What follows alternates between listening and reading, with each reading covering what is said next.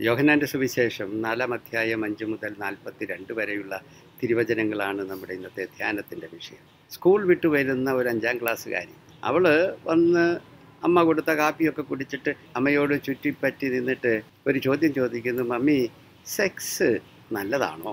ഇത്തരമൊരു ചോദ്യം ചെറുപ്പക്കാരിയായ അമ്മയുടെ പടുക്കലേക്ക് കിട്ടിയാൽ എന്തായിരിക്കും അമ്മയുടെ പ്രതികരണം?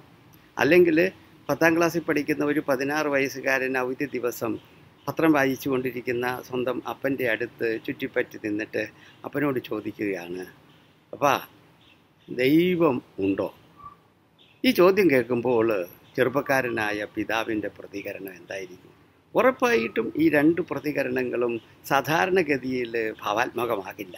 പക്ഷെ തിരിച്ചറിയേണ്ടത് ഈ രണ്ട് ചോദ്യങ്ങളും അപ്പനും അമ്മയ്ക്കും കിട്ടുന്ന ഒരു വലിയ സന്ദർഭമാണ്. ഏത്? സംഭാഷണം തുടങ്ങാൻ തന്റെ മകളോട് തന്റെ മകനോട് സംഭാഷണം ആശയവിനിമയം നടത്താൻ കിട്ടുന്ന സുവർണ അവസരമാണ്. അതിനെ നെഗറ്റീവ് പ്രതികരണങ്ങളിലൂടെ ഇല്ലാതാക്കിയാണ് പലപ്പോഴും നമ്മുടെ രീതി. ഇന്നത്തെ സുവിശേഷത്തിലേക്ക് നോക്കിക്ക് ഈശോ ഒരു സംഭാഷണത്തിന് അവസരം പാത്തിരുന്ന് തുടങ്ങി വെക്കുകയാണ്. എന്നിട്ടോ അത് വളർന്നു കയറുന്ന ദീർഘമായ സംഭാഷണമായി മാറുകയാണ്.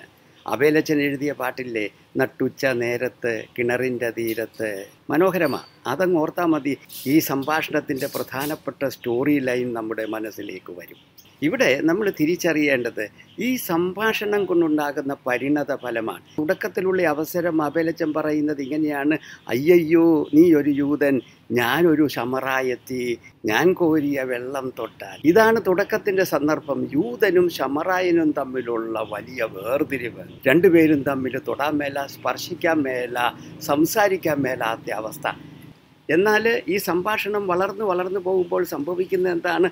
ഇടയ്ക്ക് അവൾ ചോദിക്കുന്നു ഈ കിണർ ഞങ്ങൾക്ക് തന്ന യാക്കോബിനേക്കാൾ വലിയവനാണ്. മുന്നോട്ട് പോകുമ്പോൾ പ്രവാചകനാണോ? അവസാനം ക്രിസ്തുവാണ്. എന്ന് പറഞ്ഞാൽ സംഭാഷണത്തിലൂടെ സംഭവിക്കുന്നത് ഇയാളെ കിണറിന്റെ അടുത്തിരിക്കുന്ന ആളെ ഇവൾ കൂടുതൽ കൂടുതലായിട്ട് പടി പടിയായിട്ട് അറിയുന്നു. അറിവിൽ വളർന്നു വളർന്നു വരുന്നു. ആളെ മനസ്സിലാക്കുന്നു.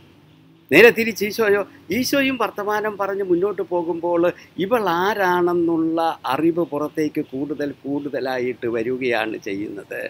ഭർത്താവുണ്ടോ? അഞ്ച് ഭർത്താക്കന്മാരുണ്ടോ? നോക്കണേ അതായത് സംഭാഷണത്തിലൂടെ സംഭവിക്കുന്നത്. മതിലി കെട്ടി വേർതിരിച്ചിരുന്ന രണ്ട് വ്യക്തികൾ സംഭാഷണത്തിലൂടെ പടിപടിയായിട്ട് മനസ്സിലാക്കി ഒരാൾ മറ്റേയാളെ ആഴത്തിൽ തിരിച്ചറിയുന്നു. മറ്റേയാൾ ഈ ആളെയും തിരിച്ച് പരസ്പരം തിരിച്ചറിയുന്ന അവസ്ഥയിലേക്ക് വരികയാണ്. പരസ്പരം മനസ്സിലാക്കുന്ന അവസ്ഥയിലേക്ക് വരികയാണ്. പരസ്പരമുള്ള ബന്ധം ആഴപ്പെടുന്ന അവസ്ഥയിലേക്ക് വരികയാണ്. അതുകൊണ്ടാണ് സമറായക്കാരി ഓടിപ്പോയി ആൾക്കാരെ കൂട്ടുന്നത്. താൻ തിരിച്ചറിഞ്ഞ വ്യക്തിയെ പരിചയപ്പെടുത്തുക. അതുകൊണ്ട് തന്നെ സംഭാഷണത്തിന്റെ പ്രാധാന്യമാണ് ഇന്നത്തെ സുവിശേഷത്തിലൂടെ ഈശോ നമ്മുടെ മുമ്പിലേക്ക് വയ്ക്കുന്നത്. സംഭാഷണം ആശയവിനിമയം പരസ്പരമുള്ള വർത്തമാനം ഇതിന് പ്രാധാന്യം കൊടുക്കണം. കാരണം ഇതിലൂടെയാണ് മതിൽ കെട്ടി വേർതിരിക്കപ്പെട്ടിരുന്ന ബന്ധമില്ലാത്തവർ തമ്മിൽ ബന്ധത്തിലാകുന്നത്. ഇതിലൂടെയാണ് ബന്ധങ്ങളിലുള്ള പ്രതിബന്ധങ്ങളെ തരണം ചെയ്യാൻ പറ്റുന്നത്. സംഭാഷണത്തിലൂടെയാണ് ബന്ധം കൂടുതൽ ആഴപ്പെടുത്താൻ പറ്റുന്നത്. സംഭാഷണത്തിലൂടെയാണ് കൂടെയുള്ള വ്യക്തിയെ കുറെ കൂടെ മനസ്സിലാക്കാൻ പറ്റുന്നത്. ഇതിനെക്കുറിച്ച് വളരെ വ്യക്തമായിട്ട് നമുക്ക് നിർദ്ദേശം തരുന്നത് ഫ്രാൻസിസ് പാപ്പായ. അമോരീസ് ലത്തീസിയ സ്നേഹത്തിന്റെ സന്തോഷം എന്ന തന്റെ അപ്പസ്തോലിക പ്രബോധനത്തിൽ കൃത്യമായിട്ട് വീട്ടിൽ നടക്കേണ്ട സംഭാഷണത്തെക്കുറിച്ച് പാപ്പ പറയുന്നുണ്ട്. അമോരീസ് ലത്തീസിയായുടെ നൂറ്റി മുപ്പത്തി ഏഴാമത്തെ നമ്പർ ഞാനൊന്ന് വായിക്കാം. സമയമെടുക്കുക സംസാരിക്കാനായിട്ട്. അതും ഗുണമേന്മയുള്ള സമയം ക്വാളിറ്റി ടൈം എന്നാണ് ഇംഗ്ലീഷിൽ പറഞ്ഞിരിക്കുന്നത്. അതിന്റെ അർത്ഥം ഇതാണ് മറ്റേ വ്യക്തിക്ക് പറയാനുള്ള എല്ലാ കാര്യങ്ങളും ക്ഷമാപൂർവം ശ്രദ്ധയോടെ കേൾക്കാൻ തയ്യാറായിരിക്കുക.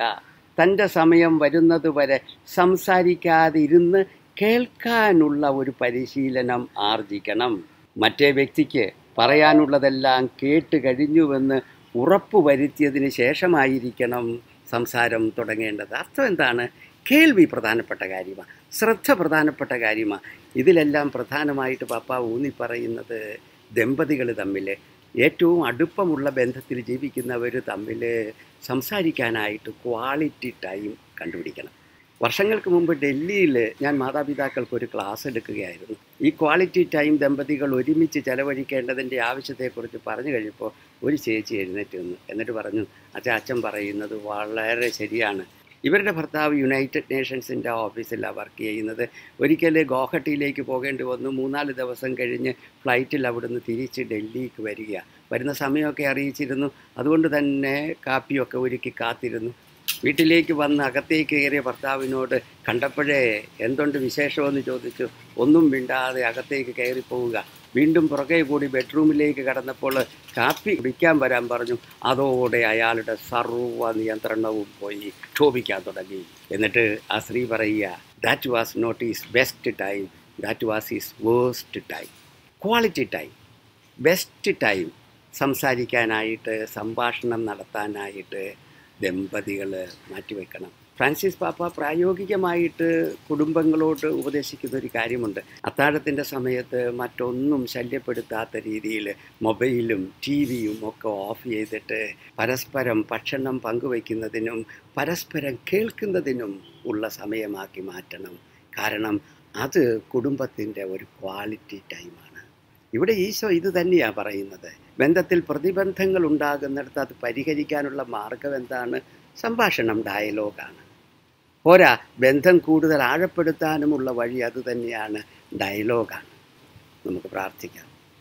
നാഥ നീ ഇന്നത്തെ സുവിശേഷത്തിലൂടെ എന്നോട് പറയുകയും കാണിച്ചു തരികയും ചെയ്യുന്നത് പരസ്പരമുള്ള മനസ്സിലാക്കലും ബന്ധവും എങ്ങനെ വളർത്തണമെന്ന്.